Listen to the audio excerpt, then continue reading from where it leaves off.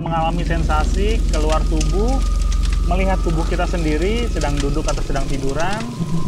Nah, itu baru yang dinamakan merogoh sumo. Itu yang membedakan. Nah, kalau astral projection itu tidak harus mengalami itu. Astral projection, proyeksi astral. Oke, teman-teman jurnalis misteri masih bersama Beli Wayan. Sekarang kita ngobrol soal astral projection. Gimana? Oke, kita ngobrol soal astral projection. Oke, siap. Ngapain salam dulu tadi kan udah. Oh, Kan iya. bersambung. Oh, bersambung. astral projection sama nggak dengan merogoh sukmo? Sekarang tolong jelaskan apa itu astral projection.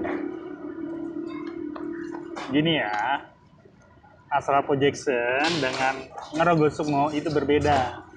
Kalau ngerogoh sukmo samanya dengan OBE atau out of body experience. Pengalaman keluar dari tubuh.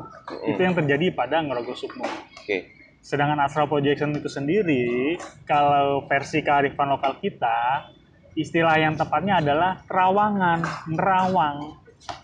Ketika kita menerawang sesuatu objek, eh, jiwa kita tidak keluar dari tubuh ini.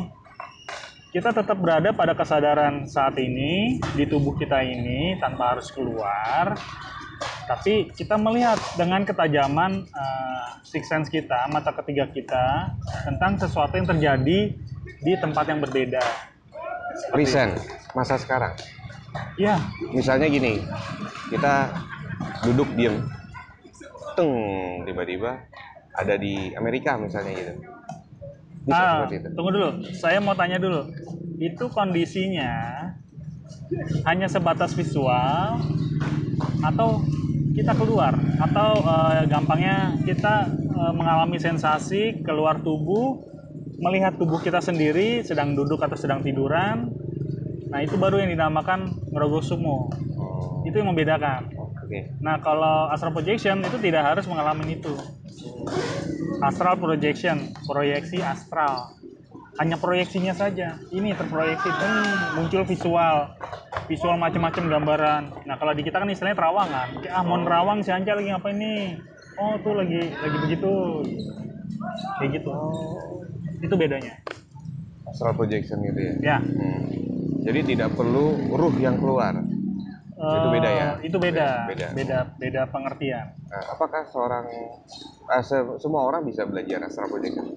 kalau untuk dipelajari bisa Hmm. siapa pun bisa asal dengan eh, ya tadi belajar taat tekun gitu ya Eh, kalau bisa kalau belajar tuh ada gurunya ada Nah, pembimbingnya agar iya. kita bisa berkonsultasi apakah yang kita alami sudah benar apakah melenceng apa segala macam. Karena khawatirnya ketika tidak ada pembimbing atau guru kita menjumpai hal-hal yang aneh-aneh yang yang baru pertama kali dan kita menjadi parno itu bahayanya di situ. Dari pemahaman kita pikiran kita itu bisa terganggu. Oh.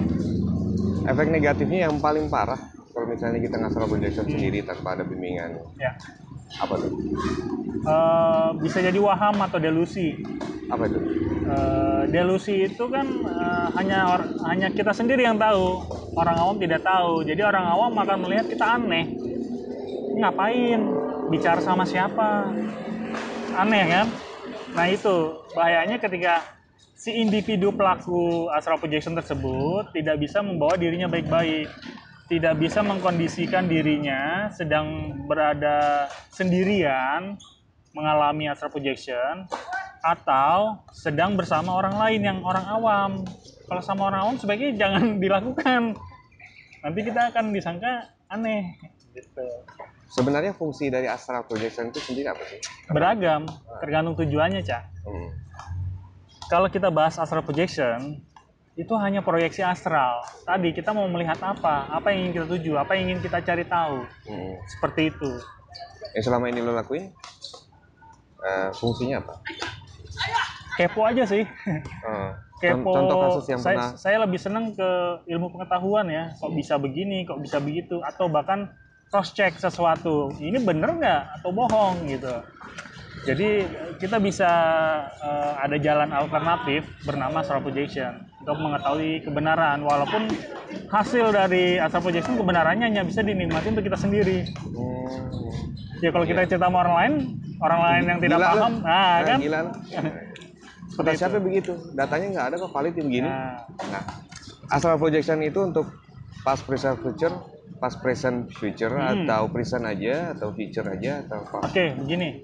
Eh, mengenai waktu Ya. itu di di ranah interdimensional itu waktu itu tidak ada. Hmm. Tapi kebanyakan astral projection ataupun terawangan ataupun apa istilahnya cenayang itu dilakukan untuk kehidupan saat ini, present, Hmm. untuk mengetahui, untuk memberi solusi-solusi atas kendala yang dihadapi oleh klien mungkin segala macam.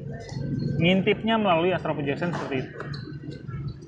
Terawang ya. Ya, Merawang barang hilang. ya, contohnya itu. Oh, dengan astral projection. Ya, terawang nih pacar lagi di mana nih, gitu kan? Hmm. Itu pakai astral projection bisa. Bisa.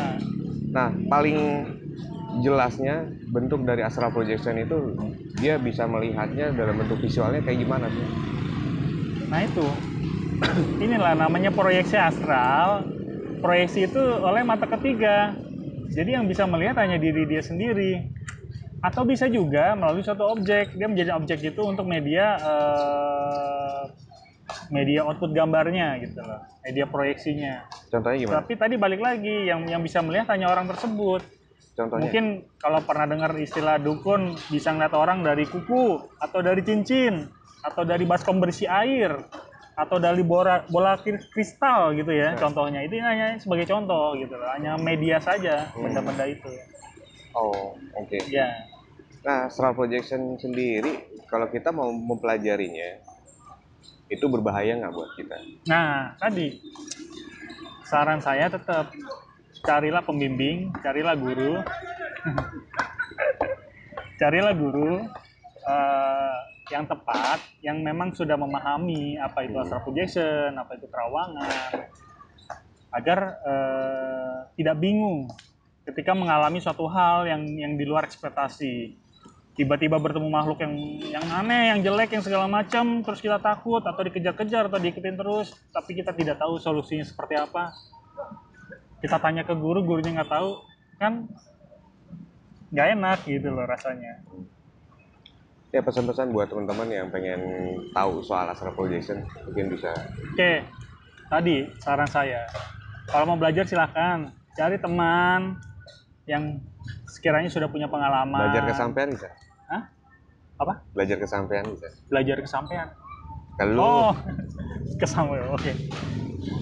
Ya kalau mau main sih ngopi-ngopi boleh, cuman ngikutin waktunya saya juga gitu loh. Oh iya. Sibuk Silakan ya? aja. Ah. sibuk banget. Kliennya banyak. Sehari berapa tuh? Kalau sharing-sharing ya silakan bisa japri-japri inbox bisa silakan. Gitu. Saran? Eh, ya, sarannya kalau mau belajar astral projection tadi temukan pembimbing. Terus ketika praktek, jangan takut-takut, jangan ragu-ragu. Hadapi aja semuanya dulu. Ditampung dulu semuanya.